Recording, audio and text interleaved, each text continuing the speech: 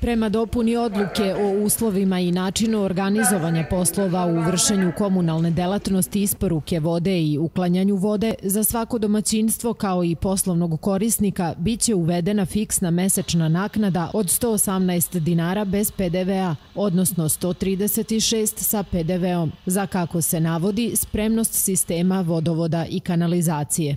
Uvođenje ovog nameta značilo bi da će u sledećoj godini više od 153.000 domaćinstava i preko 8.600 privrednih subjekata mesečno plaćati 118 dinara koji će ići na račun javno-komunalnog preduzeća vodovoda i kanalizacije.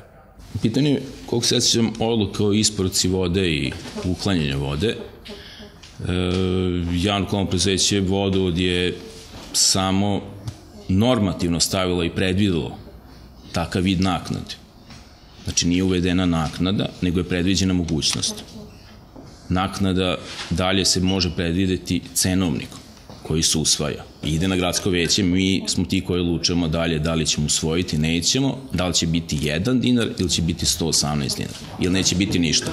Voro, ljudi misle da na taj način hoće da unaprede i da dalje obnavljaju mrežu vodovodnu da ljudi, da građani imaju kvalitetniju isporuku vode.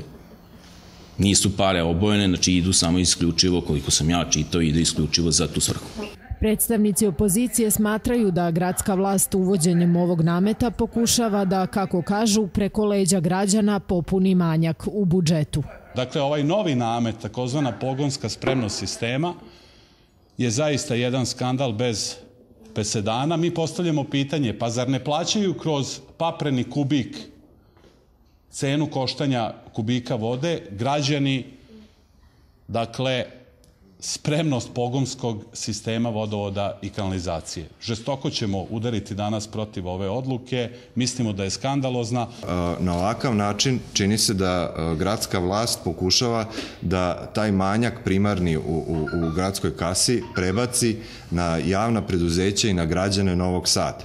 Tu možemo da apostrofiramo dve stvari. Prvo, da su smanje subvencije za gradsko saobraćeno preduzeće i vodovod i što se tiče vodovoda, e, pretpostavlja se da će na neki način moći da je manjak da se nadoknadi uvođenjem tog novog nameta za građane Novog Sada, koji se zove e, spremnost sistema. U predlogu odluke navodi se da se cena za pogonsku spremnost sistema utvrđuje kao mesečni fiksni iznos i namenjena je za izgradnju i rekonstrukciju, odnosno investiciono održavanje tehničkog sistema, kao i za nabavku opreme.